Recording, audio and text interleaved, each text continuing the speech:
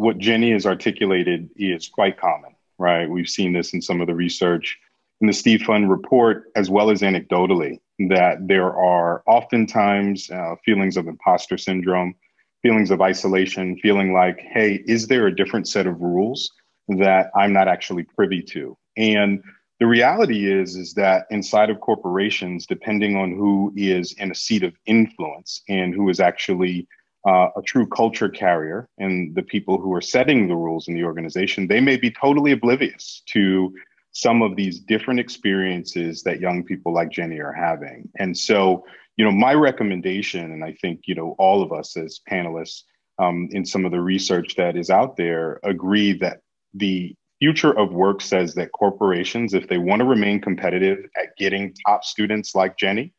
who may acknowledge the fact that there's a different experience for other people, they have to run towards this conversation and acknowledge that there is no one size fits all when it comes to experiences. They've got to run towards having the sticky, tough conversations around the relationship between mental health and productivity and how that differs for people of color. Another thing I would say quickly, Philip, is that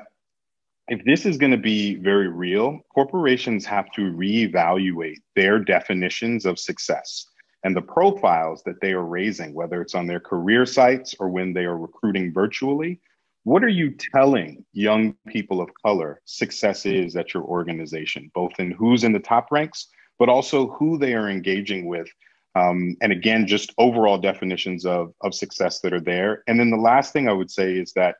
many corporations and people who may be in positions of leadership, they just don't know. And so I would encourage them to get proximate and to do the due diligence on their own, either working with many of the organizations that are represented today or on their own. Google's an amazing tool um, where you can research some of these things and just get a better understanding for the kinds of experiences that people like Jenny are having so they can build that empathetic muscle.